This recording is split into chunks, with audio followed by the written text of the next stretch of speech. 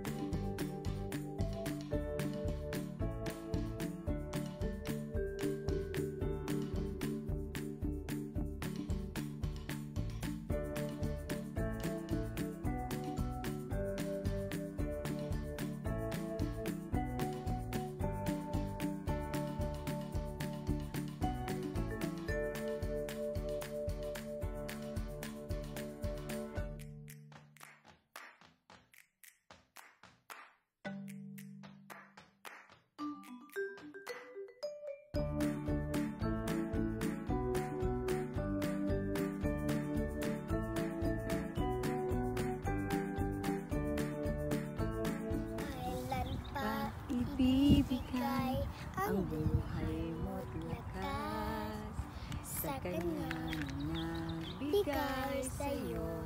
Ang buhay na wagas.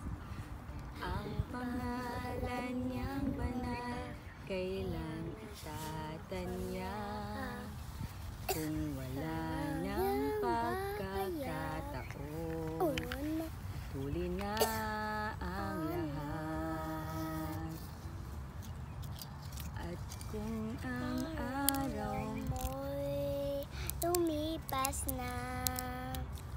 Makuha mo pa. Kaya siya ay paglingkuran Kailan pa kaya maglilingkod sa Diyos